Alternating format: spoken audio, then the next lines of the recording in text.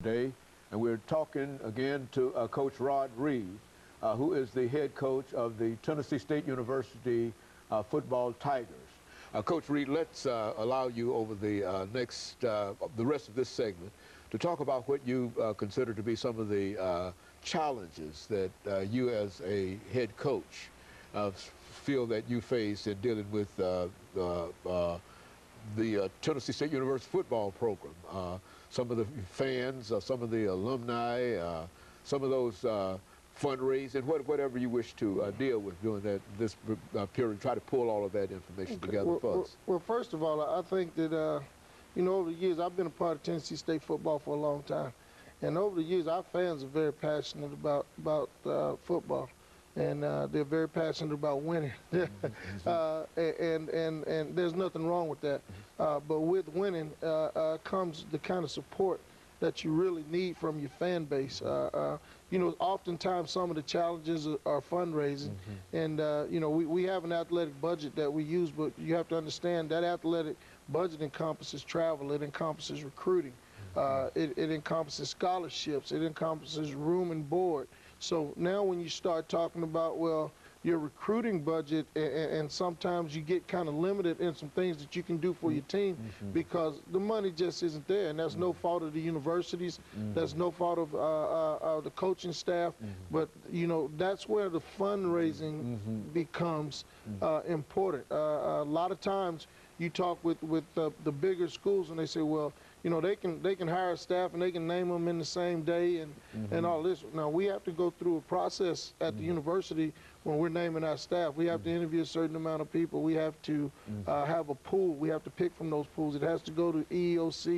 Uh, and, and, then you have to make recommendations. Then you have to interview three or four people from that file. So mm -hmm. there's a lot of red tape that goes on mm -hmm. that is mm-hmm. just university policy. Mm -hmm. Whereas at, at, University of Tennessee or let's say Memphis, a lot of the coaches' salaries are going to come University of Alabama mm-hmm. from outside sources. sources. That, that, mm-hmm. that's not university involved. So so that's that's what explains all those. Uh, right. They can bring guys in and say, hey, we're going to pay this guy, pay this guy, and it doesn't have anything university. It has to do with either the booster club or some kind of outside outside source that'll take care of that.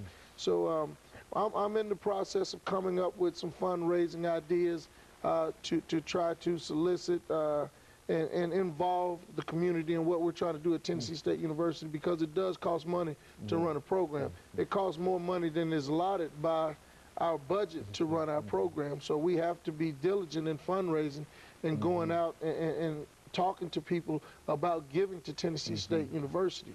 Um, uh, so those are some of the, the challenges that I've seen this far, but I, I also know this. I know that there are people out there willing to help Good. and that want to help, mm -hmm. and uh, I, I, and some resources that we haven't tapped into mm -hmm. yet. So that's going to be that partly my challenge that, uh -huh. that I haven't asked. Uh, yeah, yeah we -huh. haven't asked for. Mm -hmm. So uh, that's going to be one of my, my, my tasks.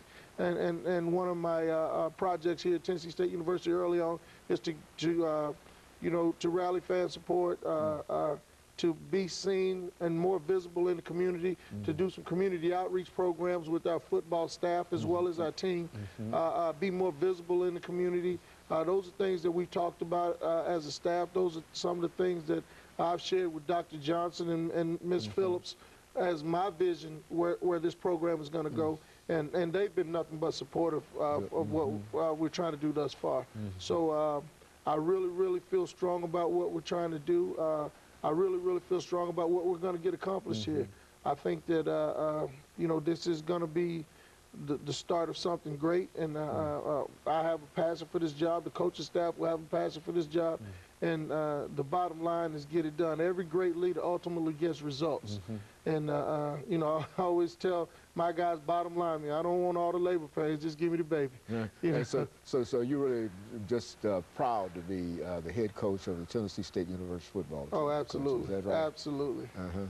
And it shows. It, it really shows, and, and, and I think that uh, with some of the things that uh, uh, uh you are bringing to this uh, program in terms of fundraising activities and et cetera. I think that that will play a very, very important part for people to recognize that uh, it is important that sure. they support Tennessee State University and that the state budget, the money from which we get the state funds, is really not hardly adequate in a real Right. sense for just educational things and et cetera. Even though And and you know, it's not the, the fundraising isn't just for football. Mm-hmm. It's for the education of our student athletes. It's for summer school. Mm-hmm. It's to to be able to enhance recruiting, to be able to branch out Mm-hmm. in some of the areas up north that we normally can't get to. Mm-hmm. Detroit, uh, where we have a great fan alumni base up there. D.C., where we have a great alumni base up there. So those are kind of areas that we're trying to get to, but we need funding and we need monies to be able to do that. So. Uh,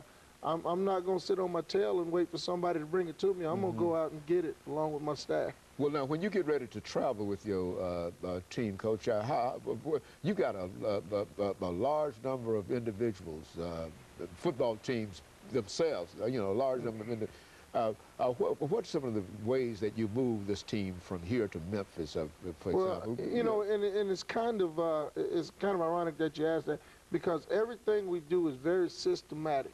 Uh, uh, we we have itineraries for everything we do. We from the time we board the bus to the time we get to the hotel, or the time we go to practice, the time we go to get, we're moving boom, boom, boom, boom. And when you're moving, uh, you know, in excess of 100 people, you know, i i- you really have to be very meticulous in what what you're doing. You really uh, uh, have to have a, a system in place that works. And uh, I, I think that a lot of times people think that we just show up and play on Saturday, get on the bus and go home. But there's, you know, there's a lot of things that are involved when you're traveling. A team, uh, uh, you know, you, you have chapel in there. You, you you wake up, you eat breakfast, you have a walkthrough. Uh, you have some downtime. You'll have a meeting. You got film. Then you have chapel. Then you have pregame meal. Then you have to board the bus. Everything is done on Yeah, a time on the schedule. time schedule, And there's an itinerary for uh, Friday, Saturday, and Sunday, for even when we get back on the trip. So Mm-hmm. it, it, it's really uh, a lot more than what people Mm-hmm. see. Uh, they think we kind of just show up on Saturday, get off the bus, and go do something. But our, our kids put a lot of time and effort in what we're trying to do because we have a 20-hour work week that we have to deal with. That we can only practice 20 hours, and we have to give them one day off a week. So uh, those those kids are going to study hall during that time. You know, they have weights, they have practice, and they have meetings. so, it's not just an easy time of No, of it's just it, you know, around and, and people always ask me, say athletes think they're special. I said they are because uh, you know the, The regular discipline the regular Mhm. student can you know uh, wake up at noon, take a one o'clock class, and go from one to six. Most athletes have to have eight o'clock classes. You know, they have to get up, they have to go to class because the classes have to be done by two o'clock so they can attend meetings, weights, football practice, and then and uh, training table wh- what we have uh, for dinner that night. So, and study hall sometimes at night. So. Uh, it's, it's really systematic what they do. They they are special kids, uh, and, and you know we try to treat them as such. But we also understand that there's a certain discipline that has to be involved in your program. There's a uh, um. Time management, and there's a, a, a, a certain amount of respect that has to be given from us to our players and our players to the faculty and whoever else is on campus that demands that respect. Coach, over the last uh, two minutes, and I always ask this question, uh, uh, have you got any prospects in terms of going to the National Football uh, uh, League, and, and what do you think is necessary in order to move from uh, where you are, your level, uh, and move a student from your level to uh, a student, as you have uh, Roger Cromartie, I think. Uh, uh, Javarris uh, Williams, yeah, uh, what, what, can you tell people what is necessary in order to do that for them to give some you, kind of you know, I, I think that uh, the facilities, we, we got a great indoor facility that's about to go up here at Tennessee State University in the next uh, couple of months.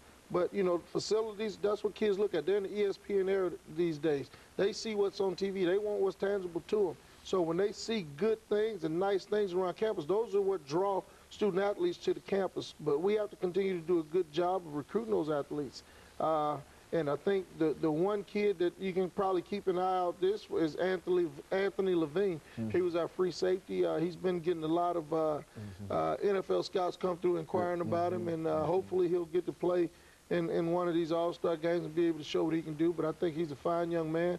Uh, he's going to graduate on time, and uh, we're really, really proud of him. And uh, uh, we'll have several more over the next two years that I think uh, uh, we, we got a junior class that's going to be really good also. Okay, and very good, Coach. Let me, uh, uh, we're near the end of the show for today, and let me thank you for coming by and giving us that very, very excellent information in reference to uh, some of the prospects in reference to the uh, team. And of course, let me encourage our audience to uh, tune in again next week for another informative edition of Comments. Thank you and good morning.